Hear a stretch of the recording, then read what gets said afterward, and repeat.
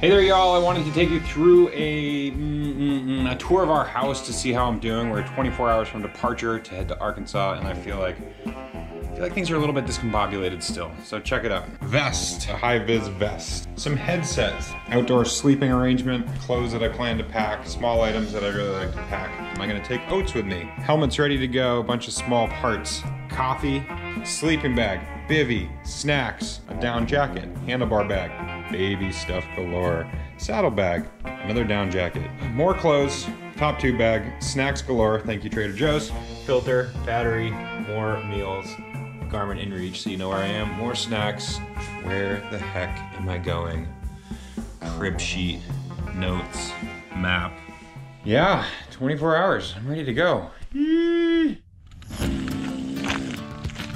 Bike, front wheel, Hope I got everything. This is it. See ya when I see ya. And away we go. Stay limber. Good to stay limber. Bring your own food.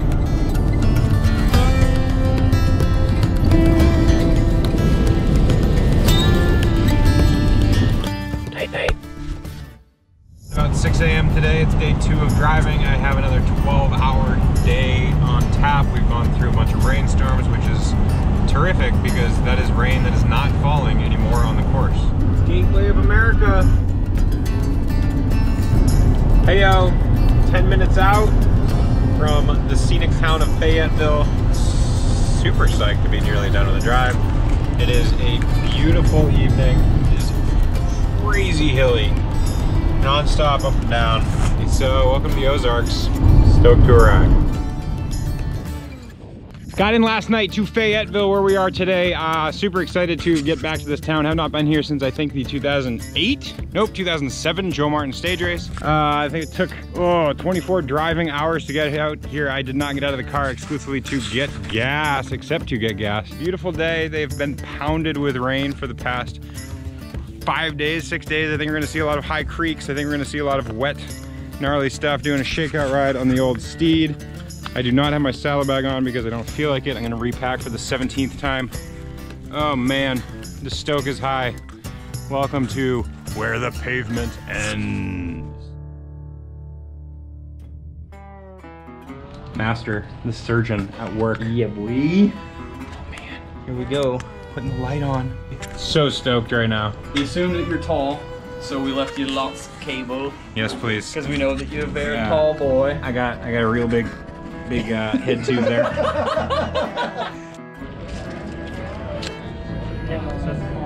the madman behind the race, Mr. Chuck Campbell. Yeah. When I met Jay Petervary on the route, he called me a sadistic MFer, so that's probably what you're going to call me after about three days on the route. It's uh 4:50 in the morning. It is race day. My alarm is set for 5:45, so I should be asleep. Everybody is doing one of two things. They're fast asleep, getting their final final sleep in, or they're like me where they're twitchy and they're itchy and they're ready to get going. Gonna try to close my eyes again, but I might be wide awake for the next hour. And then it's go time.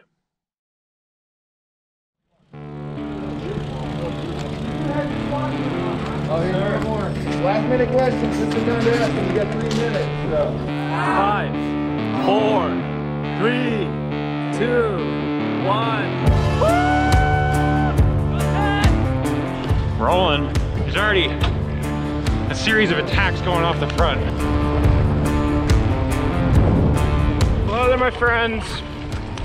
We are now three hours into the event, um, averaging about 17 miles an hour.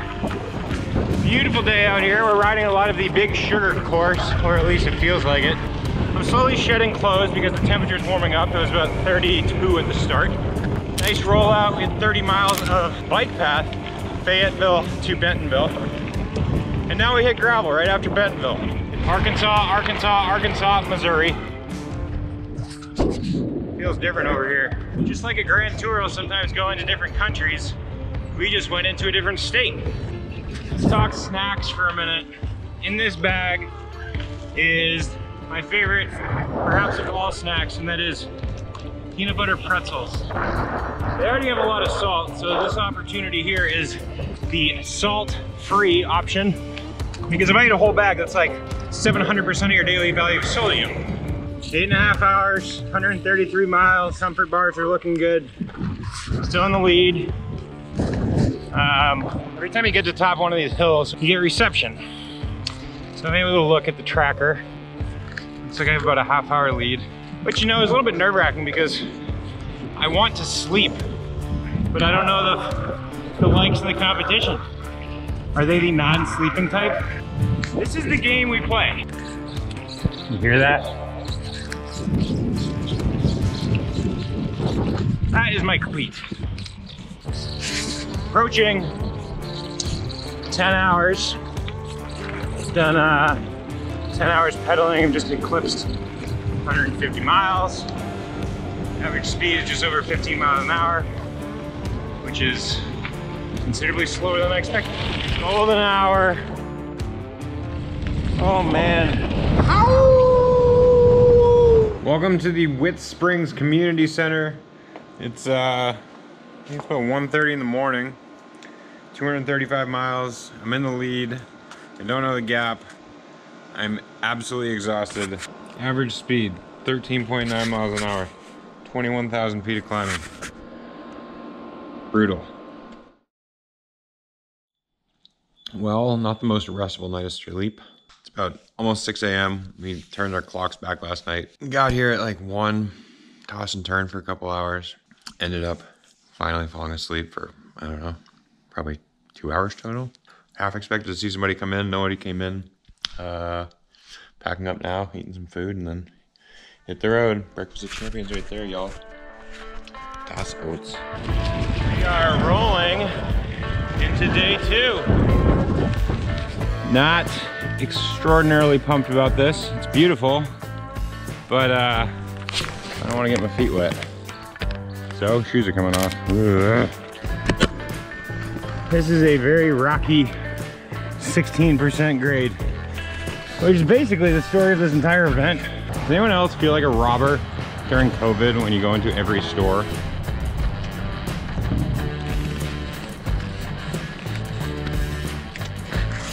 Hi. Antiques and what? Howdy. So, I don't think I got off my bike a single time yesterday. But here I am, walking up a hill. I suppose if day one could be categorized as something, it would be very fitting of the state. If I'm not mistaken, Arkansas is the natural state. And fittingly, I saw the following live animals. A turtle, a whole bunch of snakes, a moose, a wild cat, perhaps a wild cat, perhaps a mountain lion, I hope not. It was definitely large and in charge. Day two can be categorized as extraordinarily hilly. Recently knocked out the first 100 miles of today with the dangerous ratio of 1,000 feet of climbing for every 10 miles. So I'm well past 30,000 feet now. Hi cows. Means I'm almost at 36 hours of riding. I've done about just shy of 400 miles. Good morning. Oh damn. That is a dam. We're in Little Rock, Arkansas. Sort of the halfway point. Got a little sleep in last night. Went to the first hotel motel I could find. Did about a 14 hour day. Was just very, very challenging. I'm gonna start passing people today. Looks like there's a pretty good battle. There's a fellow by the name of Andrew, local Fayetteville character. Andrew, dude, you're flying. Look forward to seeing you out on the course today.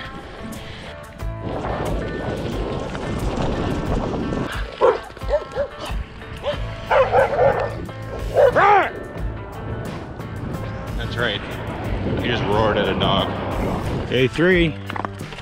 Walking up another hill. This whole event was one of uh, conservation. Road unsafe when underwater. We just saw Andrew, the leader of the counterclockwise loop. Uh, I think I'm ahead by like 40 miles, 60 miles. Oh, damn. All right, what's for lunch? Corn dogs, mini ice creams, big ice creams. So many choices and so far to go. That was a grocery store visit, Mount Ida. And I'm really glad I went. I ate a whole bunch of Fig Newtons, had an UnTapped waffle and an UnTapped packet.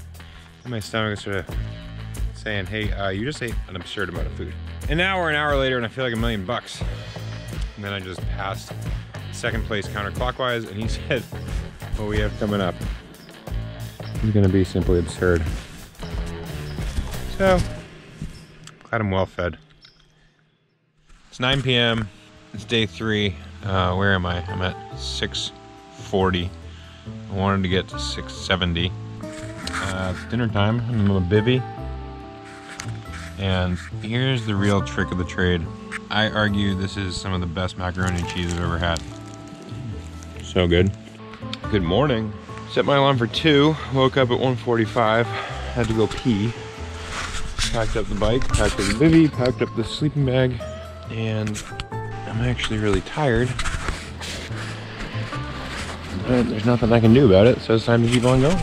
Well, it's 5:25 a.m. Been riding since about two, and I'm literally gonna lay down here and take a nap. See how that does me. Hopefully the sun comes out. Howdy! I realized I looked awful by taking a selfie earlier.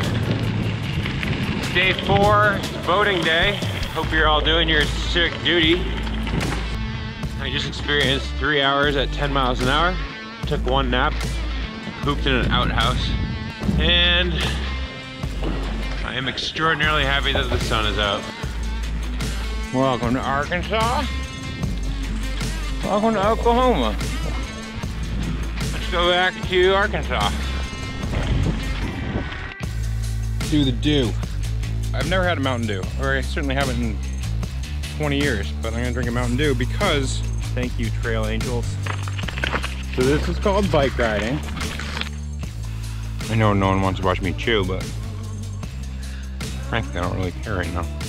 Over 200 miles for the day, which is impressive because I'm currently on the third big berg of the day. Race situation. Andrew is leading counterclockwise. By my estimate and last check, I got about a 60 mile lead. And you know, I'm, I'm new to this. I have no idea what that means. But he's crushing it. I'm having a good ride. It's great getting messages from people. I'm gonna chill here with my gummy bears before I continue tackling this. Morning. Um, high atop Mount Magazine. And I got a hotel last night, which was my my carrot. That was my what I was chasing the entire day. But long story short, I rode for 20 straight hours on one hour of sleep. As I roll out of bed this morning, and I can hardly move, I ache in places that I've never ached. Like, look at my eyes. I'd call this one of the best decisions I made. My breakfast just came courtesy of $5 and a vending machine. Lunchtime, day five. I'm like clear of mind, but my body is really starting to break down. My dexterity just isn't there. I have a hard time zipping a zipper. Trying to stretch, stay limber, eat some food. I'm in the town of Russellville, 180 miles to go. I've got a pretty substantial lead, so it's nice. But man, this is a this is a chore. It's really, really, really hard. Hey, so those very friendly folks on the tractor were Chuck Campbell, race director, horse designer, his wife, and chef and snack extraordinaire provider. They said 10 people have scratched. Means we are down to 50% of these starters. Thank you guys so much. Well, well, well. It's the uh, last light of day five. A couple things have happened. One, I nearly ran out of water. Uh, I'd call it today considerably slower than expected, but I am gung ho for the finish line. Still got about 120 miles to go. This maneuver is called eating homemade cinnamon roll in the middle of the dirt road. Just past the final checkpoint besides the final checkpoint. And uh, these are 65 miles to go. But I need to lay down here and take a nap. Well, this is one of those moments I sort of feel like would never come, which is funny because it all started four, almost five days ago. But it's 3.08 a.m. It's Thursday. And I'm on the bike path back to Fayetteville. It's two consecutive 20 hour days and I'm really, really tired. What a wild, wild ride. All right, there he is. We see some lights. TK, we're gonna call this the finish line right here, my friend. Local time, call it 321. There it is. Uh, well, that was a big bike ride. Not only did you best uh, Jay Petervary's time, but uh, you've bested uh, Scotty and Ernie Lechuga's time, and at, this point are the uh, fastest person known to have ever uh, completed this route. So, was thinking about that. congratulations, my friend. I appreciate it. 20 with a very proud showing by Mr. Ted King. Here is your belt buckle. It's an absolute honor having you come to Arkansas and put out that kind of effort. Cheers, bro. That is, Thank uh, you. That is one of the hardest earned buckles you could ever get. Yeah, I've uh, I've fought for some buckles before. That's next level. Nothing sweet. Well, folks, that's a bike race. So I did the race in four days, 20 hours and 15 minutes, I believe was the time. I don't know if you can tell, but I don't look great.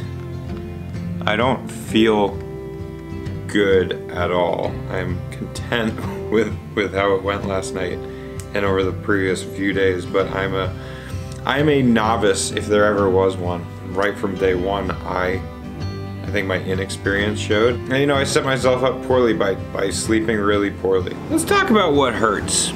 Let's go head to toe. I'm happy to say my scalp doesn't hurt. Move down here. Obviously my eyes are a little bit messed up. My lips are completely chapped. My, my teeth hurt. My tongue is so savagely raw. My neck is by day four and five. I could not lift my neck. Skin feels super weird. Both wrists hurt real bad. Fingers, terrible dexterity. My undercarriage, as you might be able to guess, not in a good place. Stomach's okay. Digestive system's okay. My mind is mostly okay. Anyway, huge thanks for you guys for following. Massive thanks to sponsors of all kinds. Thanks for thanks for putting up with me. Peace and love, my friends.